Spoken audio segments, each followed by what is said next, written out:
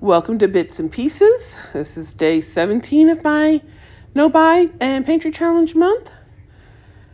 And I started the day with some cinnamon rolls. I made them the night before. This is just my oatmeal bread recipe you've seen me make with a paste of sugar, brown sugar, and butter that I had creamed together and baked this morning after having sat in the refrigerator all night.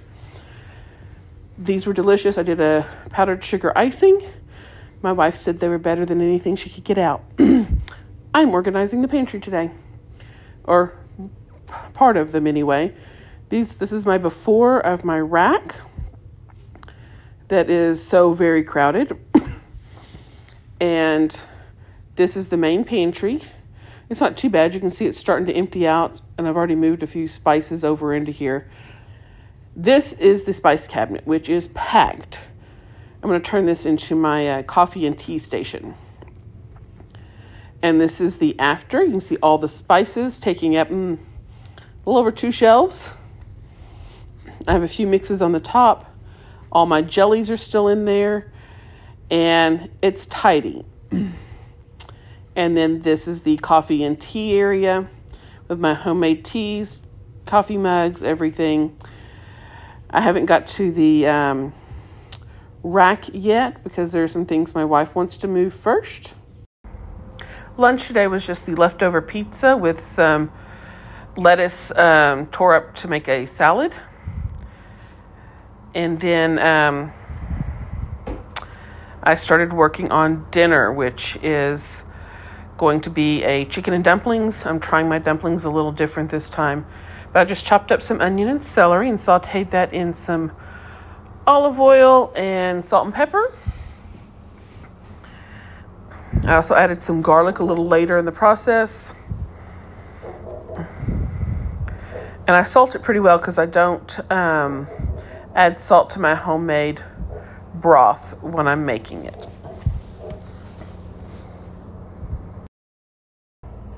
This is two cups of tortilla mix and a half a cup of warm water that I'm mixing up. Usually for dumplings, I have done a biscuit recipe, but I was trying something different. My grandmother used to swear by doing tortillas. Um, and I set that aside while I um, continued sauteing the vegetables and the chicken.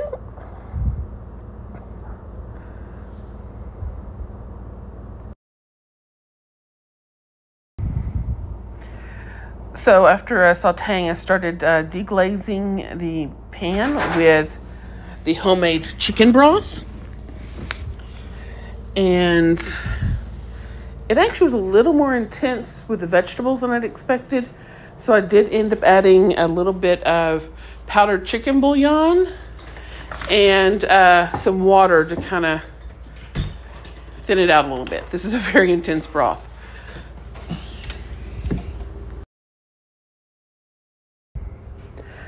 After letting the uh, tortilla dough sit for a little bit, I divided it in half and started rolling it out. And then I just took the same knife that I'd used to chop the vegetables and cut it into some rough squares. Nothing too fancy, and I think my wife would appreciate it if I had fewer dishes, all of this.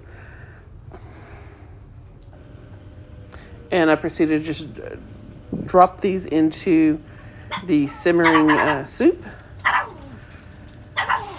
And it takes about 10 minutes after you've uh, put them all in there for them to be done. And this is the chicken and dumpling soup. It made a denser um, dumpling than what I get with a biscuit mix.